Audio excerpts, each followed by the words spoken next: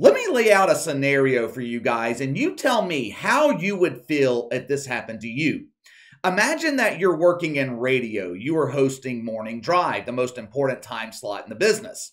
Let's say your show runs from 9 until 12, then you pass it off to your colleague.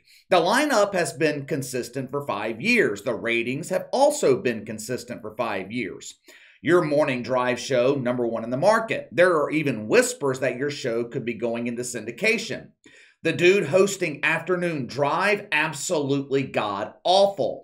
Even though he's intelligent, he's a smart dude, he doesn't resonate with the audience. People find him to be unrelatable. Not only that, there is a strong disdain towards him in the market. People don't like him. Ratings during the transition from morning to afternoon drive, they dropped 70%. From 1159 to 1201, the station loses hundreds of thousands of listeners.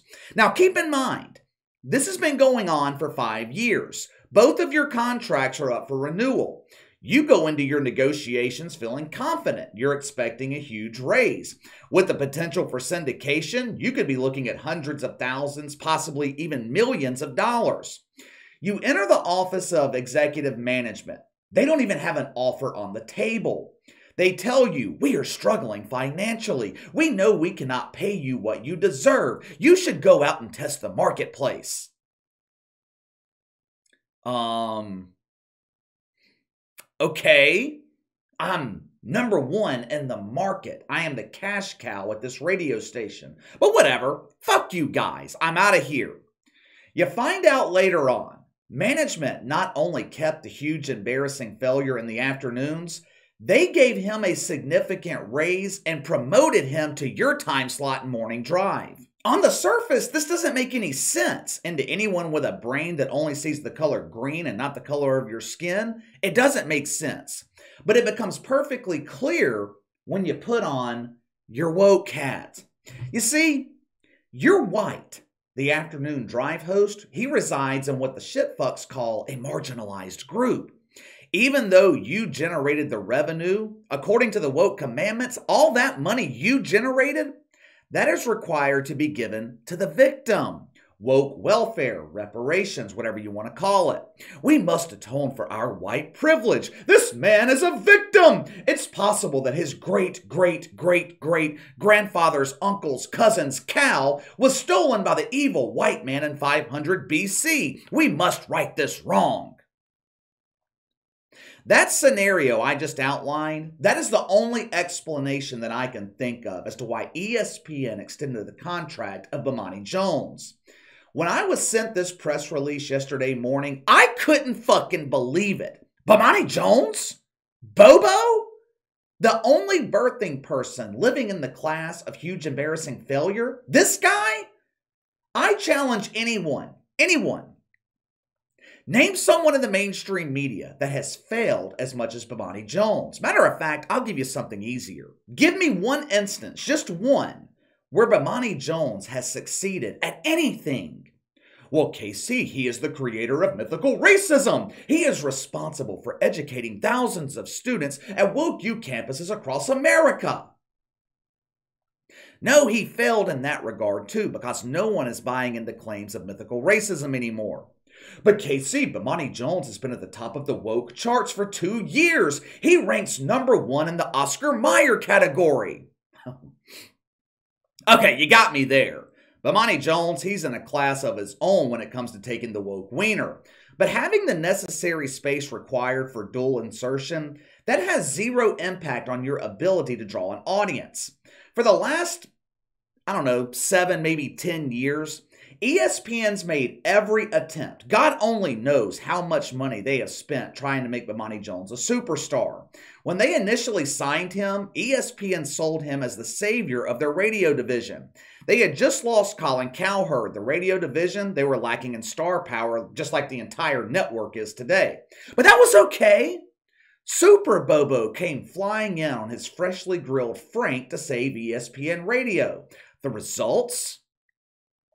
Bobo was the worst national sports radio host in the history of sports radio. That is not an exaggeration. I am dead serious. Bomani Jones had the lowest ratings in the history of ESPN radio. They ended up losing 90 affiliates over it. Affiliates were begging ESPN, get this fuck off my radio. So ESPN complied. What did they do? Well, we can't fire him. We will be accused of mythical racism. I have a better idea. Bomani Jones doesn't have a voice for radio. That was a bad fit. That's our fault.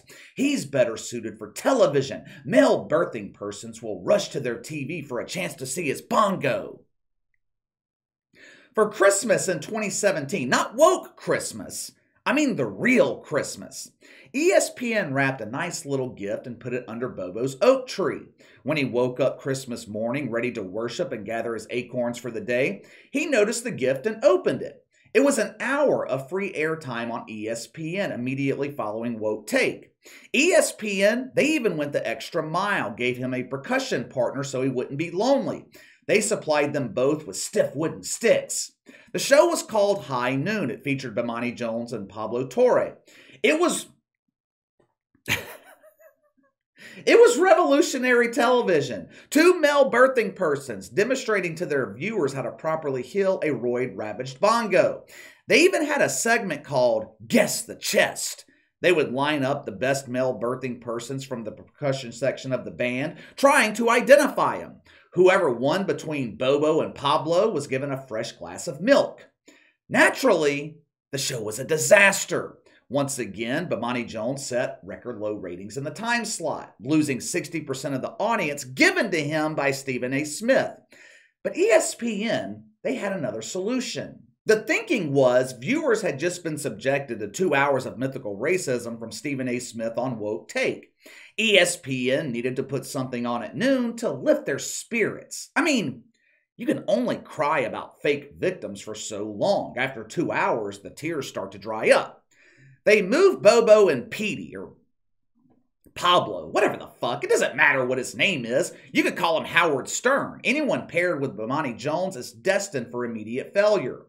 They placed them in the mid afternoon time slot as the lead into Around the Horn and PTI. ESPN thought, People enjoy a nice afternoon snack. Bobo can prep tossed salad before our viewers watch PTI. They gave Bobo a nice little hairnet, stuck him in the cafeteria. The result was the same. America told Bomani Jones, Get off my TV! Record low ratings in the time slot. When the show was eventually canceled in 2020, ESPN was naturally hit with accusations of mythical racism. ESPN doesn't want to see a black man succeed. This is unjust. It's unrighteous. Bomani Jones made the best cucumber salad I've ever tasted. ESPN would not have canceled this show if Bomani was a white man named Barry. Oh, yeah? Really? ESPN's laid off or parted ways with dozens of on air personalities over the last few years. They were either lowballed in negotiations or not offered a renewal at all. Kenny Mayne, Trey Wingo, both Mike Golic, John Clayton. I forget what the hell happened to Ryen Russillo. For one reason or another, ESPN has lost proven commodities over the last five years. And the one they bend over backwards to hang on to is Bomani Jones? Bomani fucking Jones? It's not just ESPN. HBO renewed his show for a second season, too. What was his greatest accomplishment on HBO? You guessed it. He set record low ratings. I have never seen one person fail with this much consistency and continue to be given millions of dollars. And look, I am not hating on him because he's making money. Good for Bomani Jones. I will never begrudge someone for making a living. My problem with ESPN and HBO, it's the reason they are giving Bomani Jones money. Yes, I said it. Giving. Bobo is not earning this money. In the press release they sent out yesterday morning, ESPN didn't list one accomplishment from Bomani Jones, not one.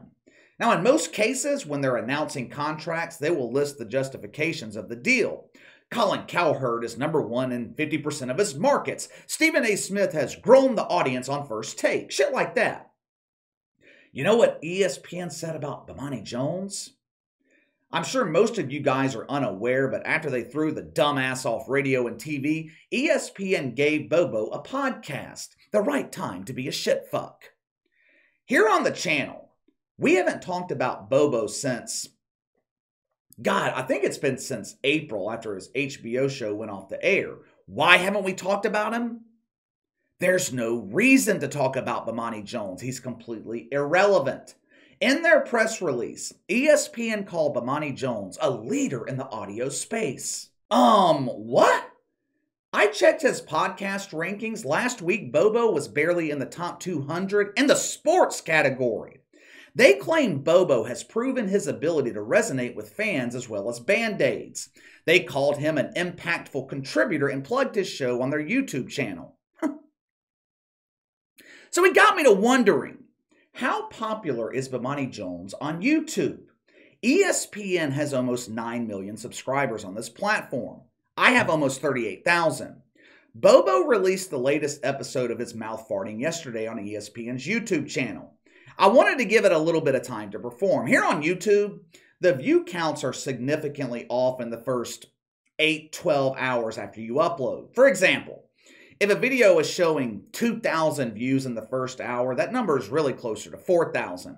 Bobo's latest episode, it was released around the same time as my first video was uploaded yesterday.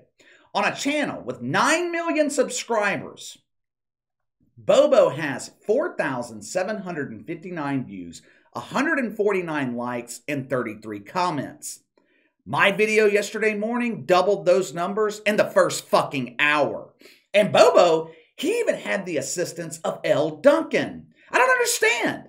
The channel you're watching now is some dumbass talking for 12, 15 minutes. Bobo has the support of ESPN high profile guests, and he's still getting beaten. His butt buddy Dominique Foxworth, his podcast on ESPN's YouTube channel from Monday, 2,900 views. Look, I'm not pointing this out to brag or trying to claim I am more popular than Bomani Jones. That is not the case. His following is much larger than mine. I point it out to show you how unpopular Bomani Jones is while he has the resources, the money, and the support of a billion dollar media company. I have nothing. It's just me no advertising, no promotion. You guys are my support. You guys are my advertising. You guys are my promotion.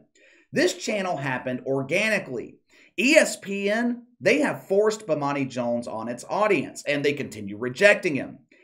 I guarantee you, I guarantee you, ESPN loses money on his contract. There is no way ESPN's making money off Bomani Jones. The question is, why do they continue to pay him? You tell me. Sound off in the comments below. Make sure to like and subscribe. Click the notification bell to receive all notifications from the channel. Best way to contact me is by email at btlkc84 at gmail.com, kc underscore btl84 on Twitter. I'll see you guys later.